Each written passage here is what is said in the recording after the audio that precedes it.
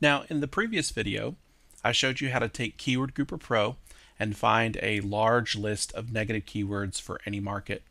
If you'll click on the channel link down below, you can find that video and watch that video if you haven't seen that yet. But now let's talk about negative keyword match types. There are three specific negative keyword match types for Google AdWords.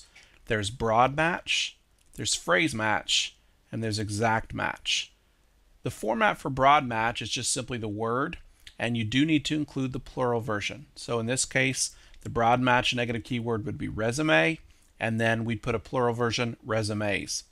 And if these were some keywords that maybe our ad would have normally shown for, you'll see they've now been uh, canceled out. So our ad will not show for these terms. Free keyword resumes, the plural version cancels this one out, and search by keyword for resume, the singular version of the broad match negative keyword would not allow our ad to be shown for these two uh, keyword searches. Phrase match, you simply put your phrase in quotes. So in this case, we've used a phrase match for Excel keyword, put it in quotes. So if we had three uh, keywords here, first of all, this first one, finding numbers with Excel keyword, it would not be shown because the exact phrase Excel keyword is found within this search. Uh, but let's look at this second version here, finding an Excel formula with keyword.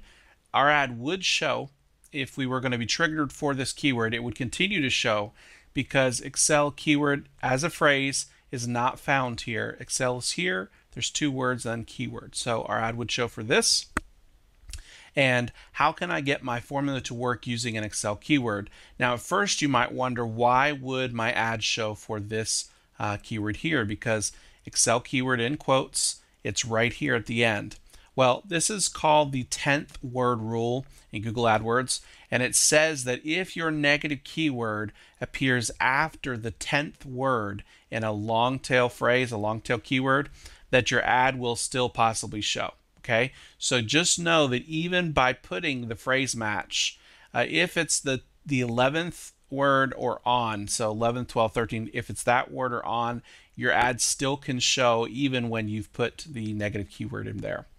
And the last type of negative keyword match is the exact match. And you simply put your word or phrase in brackets. And so in this example here, we've put word 2010, we've put that in brackets. So if the exact phrase word 2010 came up, uh, then it, our ad would not show because we have the exact match negative keyword. But in this example, it's part of a greater phrase, a larger phrase. So this exact match negative keyword would not exclude our ad from showing on this term. You might be asking, why would you ever even use an exact match keyword? Why wouldn't you just remove the keyword from your campaign? And that's very tricky to understand unless you really grasp how Google uses broad match keywords. So let's say in your AdWords campaign, this is one of the keywords you've put in, and it's a broad match keyword. So you told Google, Google, when someone types in low dash carb diet plan, show my ad.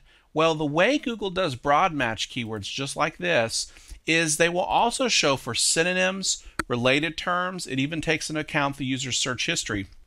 So if this is what we put in our Google AdWords campaign as a keyword to trigger our ad, we could also see ads for these terms. So carb free foods, low carb diets, low calorie recipes, Mediterranean diet plans, low carbohydrate dietary program.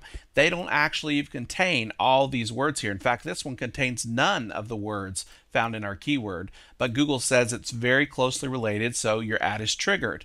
So if you put a broad match keyword, but then you decide later, you know what, I really don't want people who type in low calorie recipes to see my ad for my low carb diet plan because they're just not generally targeted enough for what I'm offering.